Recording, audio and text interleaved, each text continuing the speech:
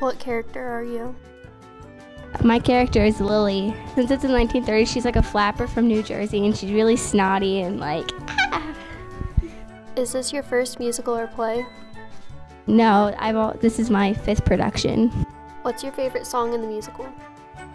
My favorite song is probably Easy Street because that's the only one my character sings. Easy Street, Easy Street, Annie is the key. What is your favorite line? Get ourselves 50,000 big ones. What other activities are you involved in? Um, I'm also in Silver Rings and Marching Band.